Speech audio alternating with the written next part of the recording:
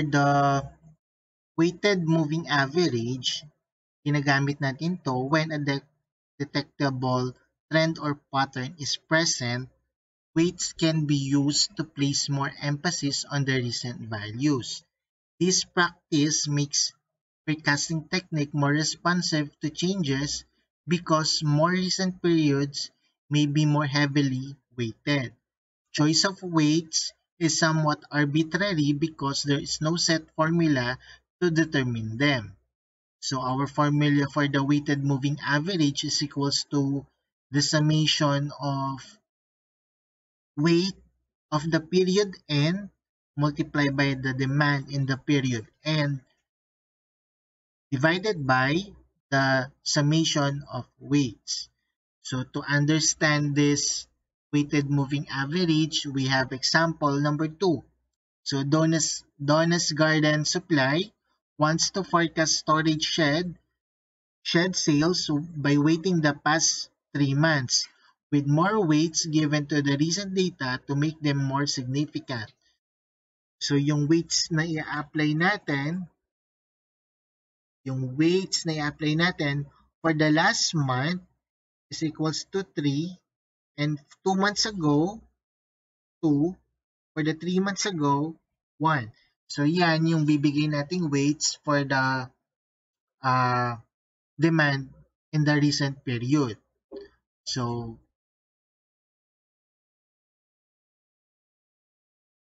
for this one, so 3 month, sabi niya, di ba? 3 month weighted moving average. So, we have 1, 2, 3. So, we will start on the month of April. So, sabi niya, 'di ba? Sabi niya kanina, yung last month may weight ka na 3. Yung sec last 2 months ago, meron kang weight na 2. Then yung 3 months ago, meron kang weight na 1. So, here, gagawin natin is 13 multiply by 3, yung weights, 'di ba? Plus um, 12 multiply yung weights ng 2 months ago which is 2 plus 10 multiply yung weights no 3 months ago divided by ilan? So total of 6. Kasi ang i-add natin dito is yung weights, yung total weights. Kaya siya naging 6 is equals to 12.17. For the month of May, so yung weights 3 times 16 plus 2 times 13 plus 1 times what? 12 divided by 6 is equals to 14.33. Next, for the forecast of month, for the month of June, we have 3 multiplied by 19 plus 2 multiplied by 16 plus 1 multiplied by 13 divided by 6 is equals to 17. For the month of July naman, so we have 3, 2, 1. Okay po. So, 3 times 23 plus 2 times 19 plus 1 times 16 divided by 6 is equals to 20.5. So for the month of August, we have 3 times 26 plus 2 times 23 plus yung weight na 1 times 19 divided by 6 is equals to 23.83.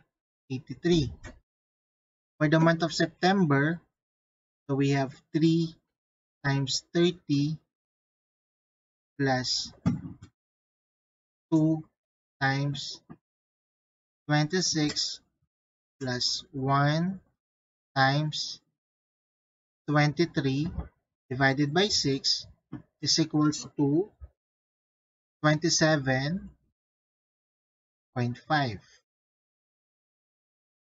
Kukuha. For the month of October, so we have 1, 2, 3 months ago.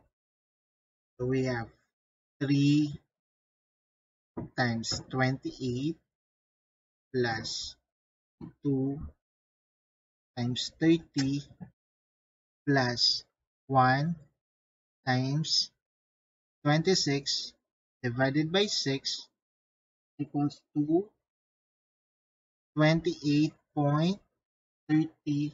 28.33.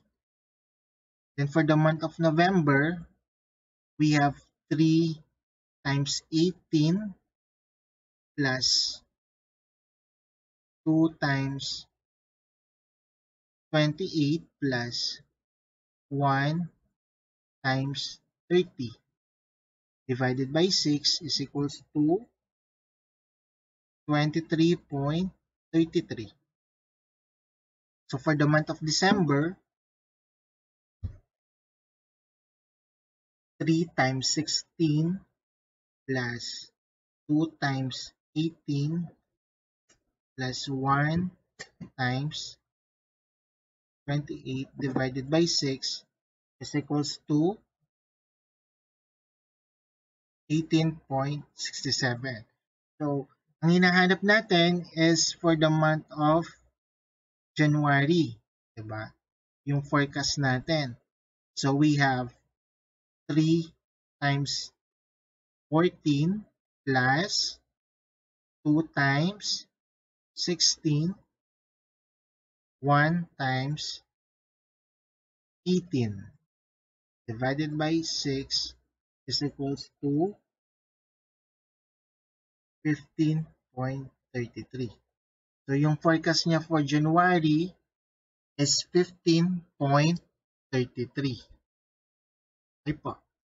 So, ganun din, kapag ang hinahanap is 4-month weighted moving average or 5-month weighted moving average, so depende na yun dun sa weight na ibibigay ng problem, 'di ba? Ganito lang yung gagawin natin. Okay po.